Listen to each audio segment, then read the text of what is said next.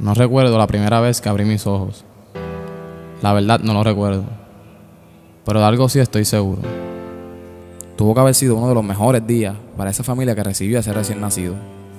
No recuerdo la primera vez que abrí mis ojos. Pero sé que desde antes de ver la luz ya había gente a mi alrededor. Y así es el resto de la vida. Siempre gente cerca, apoyándote, odiándote, o solo pasando frente a ti sin siquiera notarte.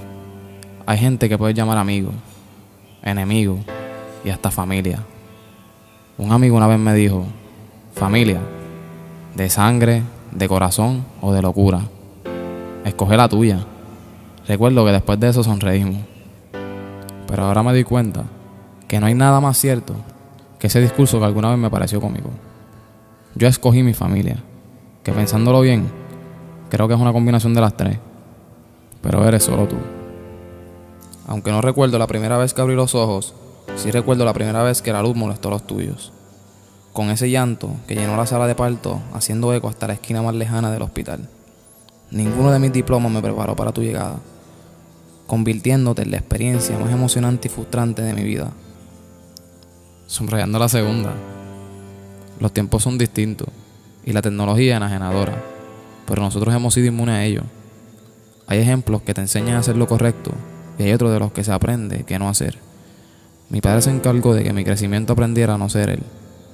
Por ello evito los gritos, los golpes, los insultos y sobre todo la indiferencia. A cambio te he tratado de dar el mismo amor que me has dado.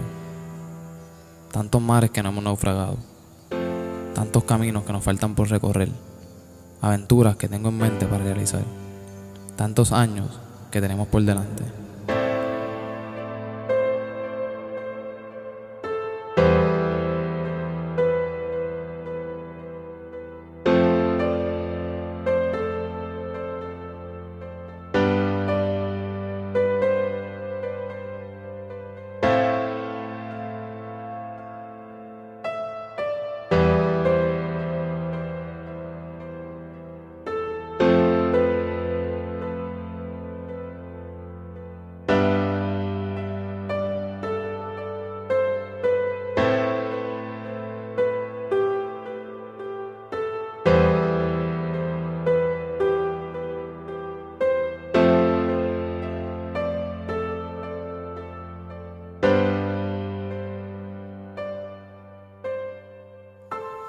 Te escribo mis mejores líneas, o por lo menos las más reales, porque no hablo de nadie fuera de nosotros, o de un invento de mi imaginación, sino de vivencias que solo tú y yo conocemos.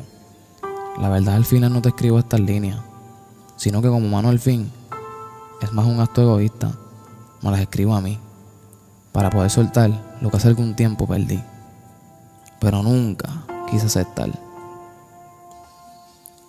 Ya no estás a mi lado lo que pensé que iba a ser mi presente se volvió mi pasado.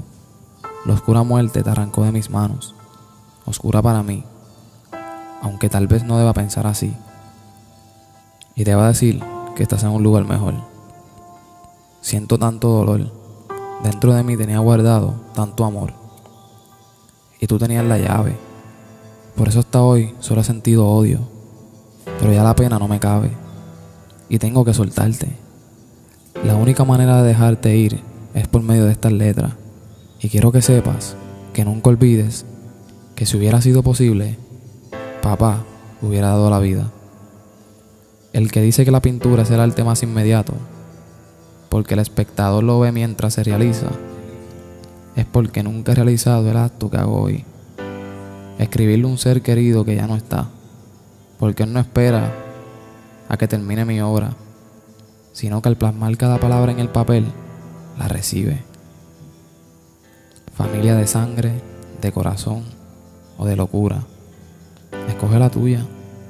Hoy escojo soltarte y empezar otra vez.